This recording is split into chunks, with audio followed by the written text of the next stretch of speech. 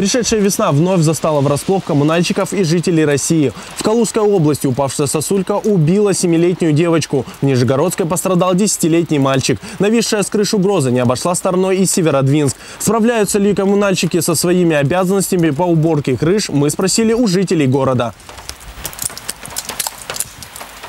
сосульки, неубранный снег, налить. Ну, вообще, жизнь стала некомфортна. Поэтому я бы не хотел в таком городе жить дальше.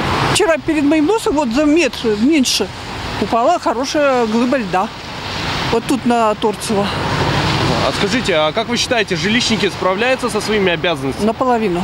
Под крышами у нас в городе не страшно ходить? Конечно, страшно. Мы Вчера, вчера детей отгоняли оттуда. Потому что там вот здесь маленькие дети играли, вот мы их гоняли.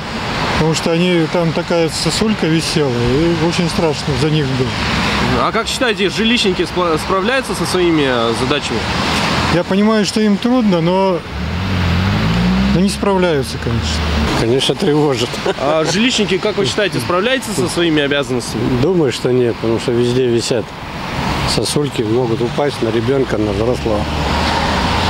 Уже сколько падало, не только у нас, по стране, поубивало это людей и получали травмы. Очень страшно, очень, конечно. Почему? Ага.